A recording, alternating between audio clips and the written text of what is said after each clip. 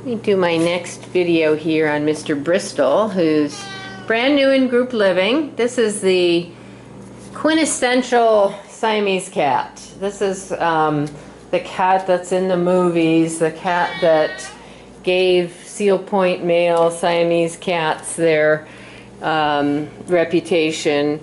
Um, talkative, long and lanky, smart, opinionated, uh, very personable, um, determined, curious, a little obnoxious every once in a while.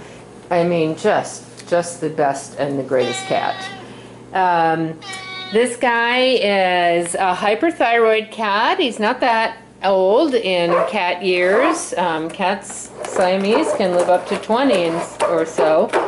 Um, so he takes transdermal medication twice a day inside the ear. It's super easy to give and it's um, pretty inexpensive uh, to purchase.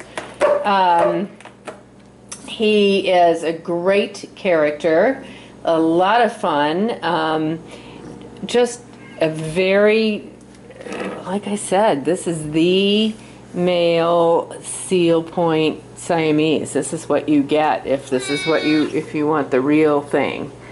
Um, he's just great, and he would certainly have a place in our household if we had a spot. But we don't have a spot. He doesn't want to share with a million other cats.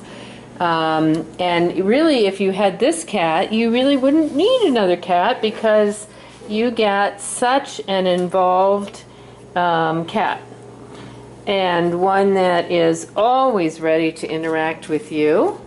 Um, yeah, yeah. Oh, God. Great, great, great.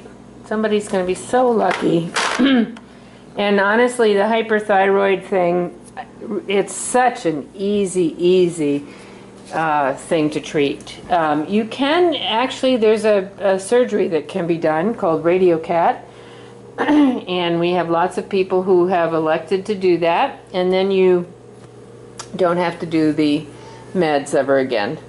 Um, so you could look into that if your if your pocketbook allows, but lots of people just opt to do the the meds, transdermal. Um, you can also do pills, and like I said, it's easy, not pricey, and not, you know, it's not like insulin where you have to be at a certain time every day. You can be a little bit more flexible.